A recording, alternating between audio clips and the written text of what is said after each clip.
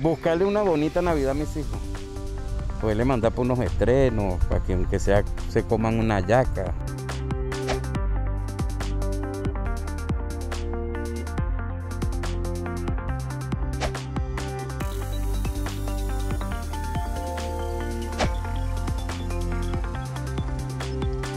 Vengo a buscar trabajo porque tengo un niño con discapacidad, le tengo que hacer una tomografía y se la tengo que hacer en Maracaibo, en Barquisimeto y allá en Valera porque no hay trabajo.